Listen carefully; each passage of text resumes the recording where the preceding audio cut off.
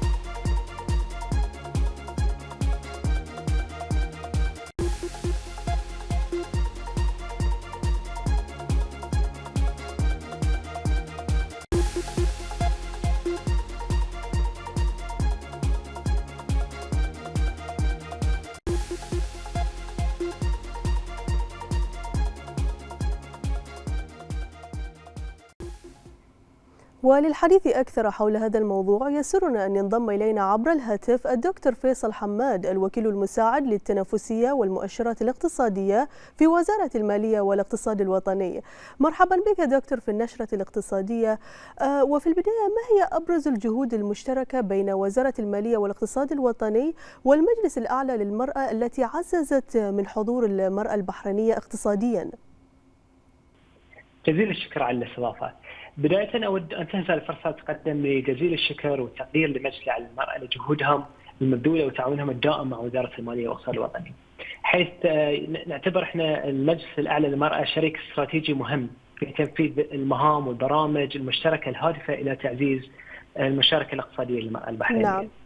ولعل أهم آه، الجهود المشتركة بين وزارة المالية والمجلس الأعلى للمرأة تمحور حول ترسيخ وتعميم مبادئ آه، رصد الميزانيات المستجيبة لاحتياجات المرآة نعم. في القطاع العام.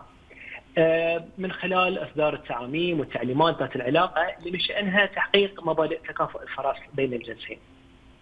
ونعمل نعم. آه، بشكل دوري مع المجلس على المراه في تحليل وبيان كافة المؤشرات الاقتصادية وابراز الإحصائيات المتعلقة بمشاركة المرأة البحرينية في سوق العمل والاقتصاد. مما يقدم للمسؤولين قراءة واضحة للمتغيرات على المستويات ومستويات التقدم ويساعدهم أيضا في اتخاذ القرارات المبنية على المعلومات الصحيحة أيضا نقوم معهم بعمل مشترك أيضا في إعداد دراسات الفجوة والتحليلات للتعرف على أبرز التحديات اللي تواجه المرأة. نعم. ودائما ما تترجم هذه الجهود في وضع مختلف المبادرات التحسينية وتنفيذها على كافة الاصعده.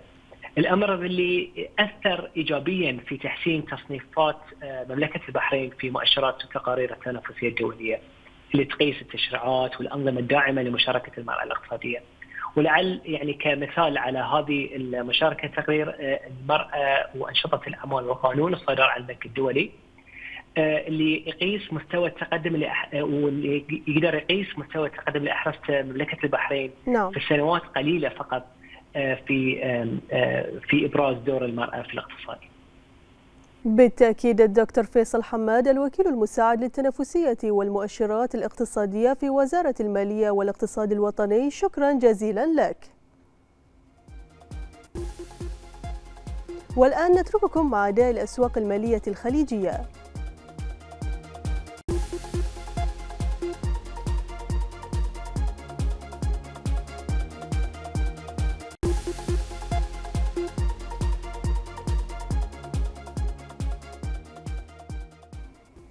أعلنت شركة خليج البحرين للتكنولوجيا المالية استراتيجياتها لعام 2024 والتي تستهدف تعزيز قطاع تكنولوجيا المالية والانطلاق به نحو آفاق جديدة. ففي أعقاب استحواذ شركة بنفت على شركة خليج البحرين للتكنولوجيا المالية في شهر سبتمبر الماضي تمضي الشركة قدما نحو أحداث نقلة واسعة في قطاع تكنولوجيا المالية في البحرين والمنطقة. وسوف تقدم شركة الخليج البحرين للتكنولوجيا المالية الدعم لشركة بنفت في إطلاق مبادرات للأبحاث والتطوير ويشمل ذلك تقارير خاصة بقطاعات معينة وأبحاث متعمقة وبرامج تسريع الأعمال وتشجيع الابتكار على نطاق المملكة.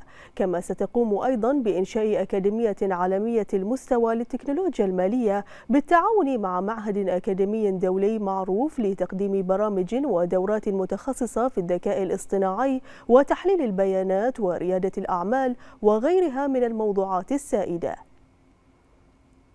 أعلنت شركة مزاد إحدى الشركات المدرجة تحت مظلة شركة ممتلكات البحرين القابضة عن طرح مشروع بيع وتفكيك محطات توليد الكهرباء القديمة التابعة لشركة ألمنيوم البحرين ألبا في المزاد العلني عبر منصات شركة مزاد الإلكترونية. ومن المقرر أن يبدأ المزاد بقيمة مليون دينار بحريني لينتهي في السابع من فبراير 2024 وقد جاء طرح هذا المزاد بعد اتفاقية تعاون جمعت بين الجانبين حيث تم تكليف شركة مزاد بمهمة طرح هذا المشروع رقميا عبر منصاتها الإلكترونية.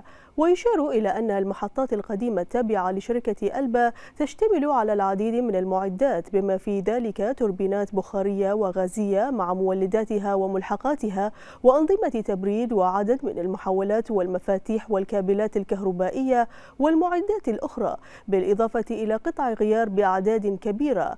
وسيتكفل المشتري بمسؤولية تفكيك جميع المعدات والهياكل المحددة للبيع وتنظيف الموقع بعد عملية الهدم وإزالة جميع المواد إلى جانب توفير الأدوات والآلات اللازمة لتنفيذ هذا المشروع.